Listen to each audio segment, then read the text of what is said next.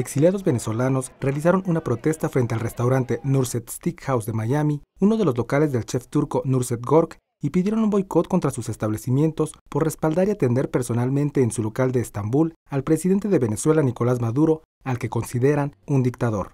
Unos 150 venezolanos con pancartas y ondeando banderas del país sudamericano manifestaron su rechazo y repudio tanto a Nurset como al gobierno de Maduro durante la manifestación en el corazón del lujoso distrito financiero de Brickell. Un video que fue retirado de la cuenta de Instagram del restaurante muestra a la pareja presidencial venezolana degustando excelsos cortes de carne de cordero entre un ambiente con suntuosos accesorios y risas. La protesta fue convocada por la Organización de Venezolanos Perseguidos Políticos en el Exilio BEPEX. Su presidente José Antonio Colina dijo que la misma responde a la actitud del chef, la cual ha sido interpretada como una falta de respeto por los exiliados en todas partes del mundo.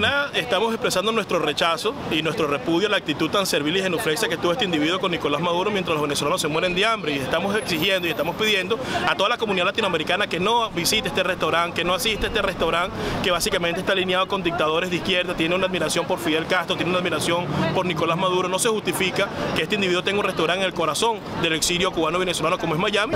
Me genera mucha indignación que el presidente de un país, de mi país, se haya parado en Turquía a comer carne, eh, un bien que prácticamente está desaparecido desde que lo regularon en mi país.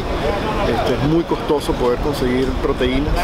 La gente se está muriendo de hambre este, en nuestro país. En nuestro país hay un genocidio silente. La gente busca en la basura que comer. Estoy aquí porque como venezolana, cuando se hizo viral el video del señor dueño de este restaurante agasajando a Maduro, eh, me sentí muy mal considerando que en Venezuela hay muchos niños y muchas personas que no tienen que comer.